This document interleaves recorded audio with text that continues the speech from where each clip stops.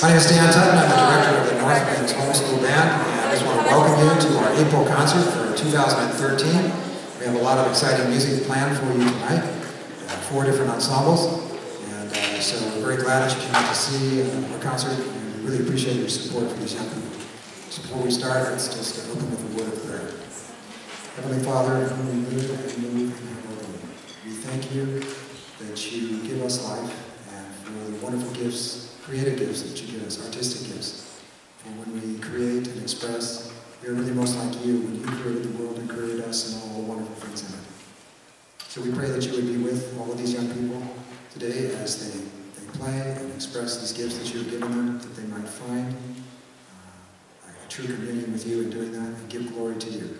Pray that you would be with them and calm their nerves and help, help them to find that joy of giving praise to you through music. In Christ's name we pray. Amen.